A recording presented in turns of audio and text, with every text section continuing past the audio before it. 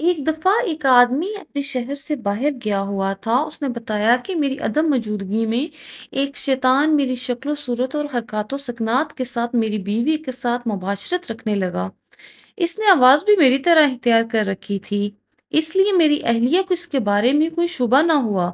जब मैं सफ़र से वापस आया तो इसने खुशी का इज़हार ना किया और पहले की तरह अपने आप को आरास्ता ने किया। मैंने ताजुब का इज़हार किया तो वो कहने लगी, तुम कहीं नहीं गए थे। फिर वो शैतान मेरे पास आया और कहने लगा मैं एक जिन हूँ, मुझे तुम्हारी बीवी से मोहब्बत हो गई है।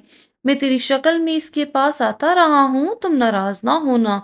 दो चीज़ों में से एक इख्तियार कर लो, या रात तुम्हारे लिए और दिन मेरे लिए, या रात मेरे लिए और दिन तुम्हारे लिए।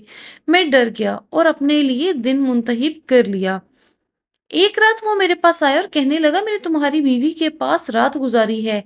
अब आसमान के करीब जाकर आलमे बला की बातें और राज चुराने के लिए मेरी बारी है। मैंने पूछा, क्या तुम चोरी-छुपे बातें सुन लेते हो? इसने कहा, हाँ। फिर इसने मुझसे पूछा, क्या तुम मेरे साथ आना चाहते हो? मैंने हाँ कर दी। अगली रात वो मेरे पास आया और कहने लगा, मुँह दूसरी तरफ़ करो। मैंने चेहरा दूसरी तरफ़ कर लिया। जब दोबारा इसकी तरफ़ देखा तो वो एक खंजीर की शक्ल में था। इसके दो पर थे। इसने मुझे अपनी पुश्त पर सवार किया।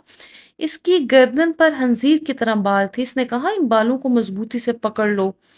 तुम अजीबो-गरीब एशिया देखोगे, मुझसे अलहदा ना होना वरना हिलाक हो जाओगे। फिर इसने ऊपर की तरफ़ परवाज़ की हत्ता के आसमान से जाकर चिमट गया। मैंने किसी हातिफ़े गैबी की आवाज़ सुनी और वो कलमात सुनकर मैंने उनको याद कर लिया।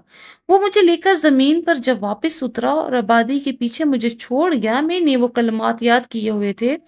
सुबह मैं अपने अहले खाना के पास आया। फिर जब वो शैतान आया तो मैंने यही कलमात दोहराए। इस शैतान की हालत खराब होने लगी। मैं इन कलमात को दोहराता रहा हती कि वो राख हो गया।